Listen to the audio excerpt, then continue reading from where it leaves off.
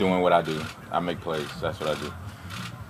You've been a part of a few different offenses. You know, how does how does the way this offense uses running backs maybe different than, than some of the, the offenses you've been a part of? Uh, I can tell this offense the backs going to be used a lot. We're going to be asked to run the ball. We're going to be asked to catch the ball. We're going to be asked to protect the quarterback, and we're going to be asked to line up all over the field.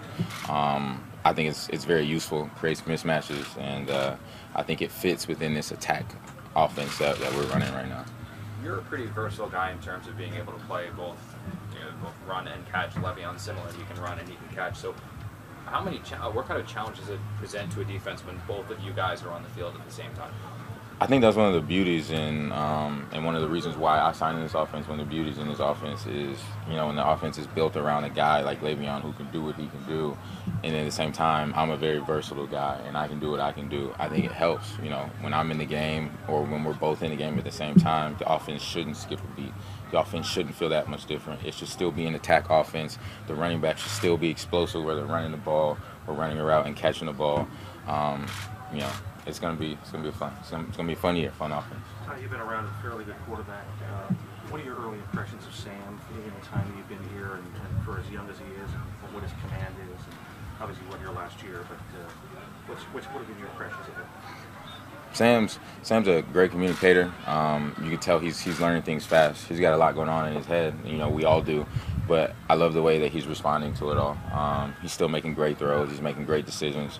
Um, going to be a great year for him. I can tell. Is there a reason why you're still 88? I mean, may, may you switch at some point to being more of a running back now, or you just like to hold on to it? I see myself as, as a true hybrid. Um, I think 88 is part of my brand now, um, obviously. But at the same time, um, I think the 88 speaks to what I do as a true hybrid. Being able to run the ball, catch the ball. You guys saw me today lining up out in the receiver position, running a few routes, as well as staying in the backfield and carrying the ball, you know, up the middle, outside.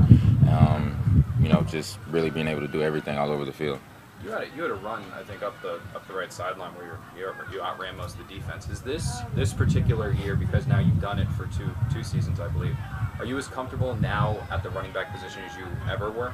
Um, I'm going to continue to get comfortable every single year. Um, you know, one thing I don't want people to forget is that you know I, I feel as though I'm I'm good at what I do. Um, I just got hurt. You know, in the past seasons, I just got hurt. So obviously, when I'm not on the field, you're not able to see what I can do. But I think I've shown that when I'm on the field, I'm a very efficient football player.